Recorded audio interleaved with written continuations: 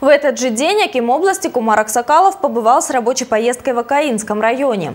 Там ему презентовали котлы казахстанской разработки, познакомились с местной продукцией. Глава региона встретился с сельхозтоваропроизводителями. Они говорили о необходимости увеличения производительности труда и повышения зарплаты. Продолжение темы в нашем материале. Астраханскую среднюю школу отапливает современная котельная. Она стоит 15 миллионов тенге. Ее за свой счет установил инвестор – компания «Сопронат». Школа платит только за отопление. При этом расход топлива уменьшился до 220 тонн в год. Акиму области Кумару Аксакалову рассказали об экономической и экологической выгоде установки таких котлов. 50% меньше угля сжигается, 100 раз меньше выброс в атмосферу.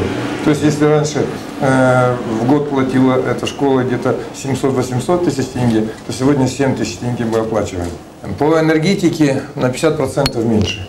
За счет чего? За счет того, что э, современные насосы ставим немецкие, итальянские планах компании оснастить таким высокотехнологичным оборудованием все школы Акаинского района. Впервые в Казахстане их снабдят системой мониторинга. Все котельные объединят в одну сеть, за состоянием которой будут следить операторы, а не кочегары. Информация об изменениях придет на электронную почту. Вскоре такие котельные появятся и на объектах компании «Казахстан Тимиржалы». Наш котел запатентован, это наше казахстанское изобретение. Мы от Казахстана являемся участниками в Экспо 2017. Наши котлы демонстрируют на практике, что э, зеленая энергетика может быть не только на ветровой и солнечной энергии, но и на таком традиционном топливе, как уголь. Вот. И это актуально для нашей страны, поскольку у нас большие запасы угля, отказываться от него не стоит. В Казахстане 70% энергии производится с помощью угля, поэтому необходимо искать наиболее эффективные способы его использования, отметил Кумар Аксакалов. Идти на экономию средств, прежде всего в выработке тепла, вот это очень важно будет. Тогда мы можем эти деньги направлять хотя бы на другие вещи. И форма ГЧП она вот в этом случае удобная. Во время рабочей поездки Аким посетил убойный пункт областной сельскохозяйственной опытной станции в селе Шагалалы. В прошлом году оттуда на экспорт отправили 50 тонн мяса. Замораживать и продавать, иначе э, не возьмут. Здесь должна быть сертифицированная продукция. Таких цехов должно быть побольше у нас.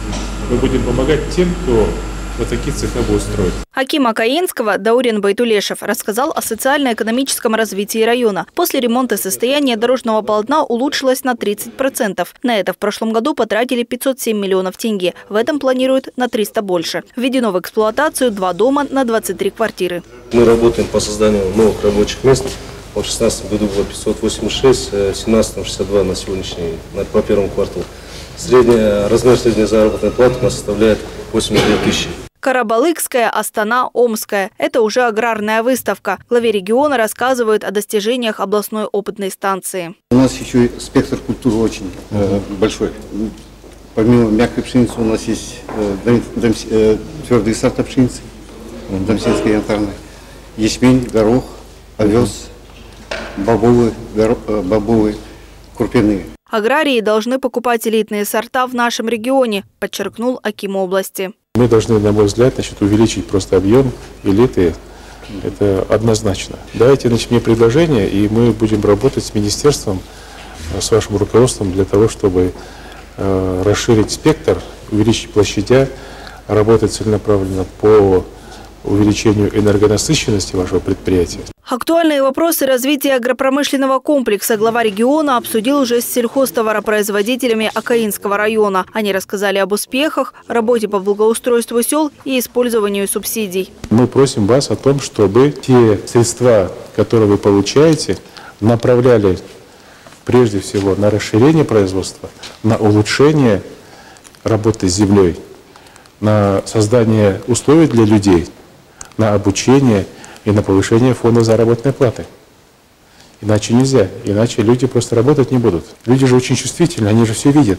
Президент об этом всегда говорит. Думайте о людях. Государство дало возможность зарабатывать, но теперь отдавайте людям. В завершении поездки Аким региона Кумар Аксакалов встретился со старейшинами Акаинского района. Они обсудили актуальные вопросы развития и планы на перспективу. Ольга Файзулина, Тимур Рахматуллин. Новости МТРК.